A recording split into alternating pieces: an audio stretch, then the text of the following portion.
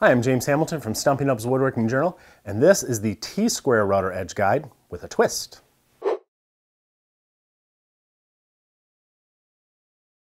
Much of the content for Stumpy Nubs Woodworking Journal is born in one of our two workshops, either here in our main shop, which is filled with commercially made tools, or over at what we call our homemade workshop, which is stocked with homemade solutions. One of those homemade solutions is a set of router edge guides, which are used for cutting rabbets, dados, grooves, all sorts of simple joinery with a handheld router.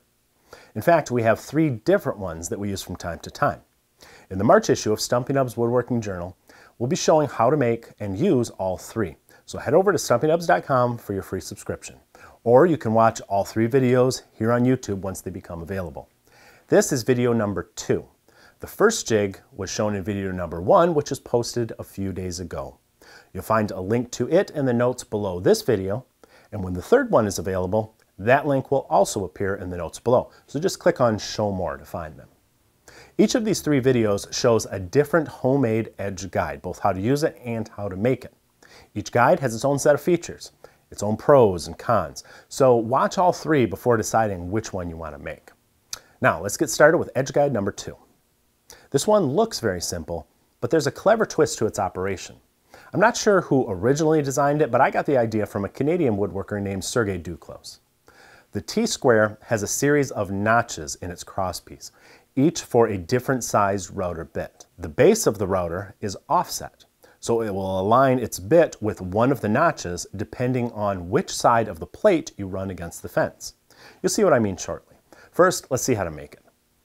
The arm of the square is made from plywood so it stays nice and flat and straight. And it's about 48 inches long and 3 inches wide. You can make yours any length. I just wanted mine long enough to cross cut a sheet of plywood.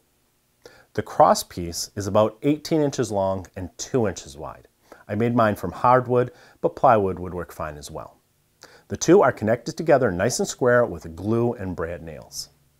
This guide requires a custom router plate which you can make from any stiff quarter inch thick material. I just made mine from plywood. It's 8 inches by 7.5 inches, and you don't center the router on this plate. Your bit must be offset. You can see the location of the bit hole in this drawing. Of course, you'll also have to add some more holes for screws to mount it to your router base. That offset is what makes the whole thing work. You see, if you centered the plate on your router's base, the distance between the edge of the plate and the edge of the bit would change depending on how wide the bit is that you're using. But by offsetting it like this, you can run a different edge of the router plate against the T-square guide depending on which size bit you're using. So label your four sides of your plate with the four common bit sizes, quarter inch, half inch, three quarters, and three eighths, just as you see them in this drawing. Once the plate is attached to your router base and labeled, it's time to use it. Choose one of the four bit sizes, chuck it into the router, clamp your T-square guide to a panel and make your cut with the side of the plate that matches your bit against the fence. The first time you do this, the bit will cut a groove in the cross piece of the guide. I went through all four bit sizes right away, again placing the corresponding edge of the base plate against the guide and making a cut. I ended up with two grooves on one side of a cross piece and two on the other. I labeled them with a Sharpie so I could keep track for future reference. Now every time I use the guide in the future, I use the grooves on the cross piece to align it. If I want to cut a half inch dado, for example, I align the half inch groove up to the position on my workpiece. I use a half inch bit in my router, and I run the edge of my router plate that's labeled half inch against the guide. It's that simple. But here are a couple extra tips.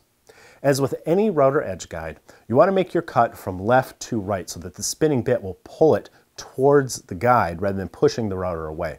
That'll make the router much easier to control. Also, I made my jig extra long because I wanted to use it for large panels. And those large panels are almost always plywood. But as you may know, modern plywood is actually thinner than the standard half inch, three quarters, and so on. So I use a set of special router bits that are designed to fit that common undersized plywood. I use them when I created this jig, and I always use them when I use this jig so that the grooves in my cross piece always match those bits. If I want to cut a dado with a regular router bit, I use one of my other edge guides. I'll link to those special router bits in the notes below this video in case you want to dedicate your edge guide to plywood too. Of course, there is another option that will allow you to cut any size dado with just one standard router bit. That is guide number three, and I'll show it to you in our next video. All three of these videos will be linked in the notes below this video when they become available, or you can find them in the March 2017 issue of Stumpy Nubs Woodworking Journal, which you can check out in the archives at stumpynubs.com, and you can subscribe to future issues for free there too. Happy dadoing!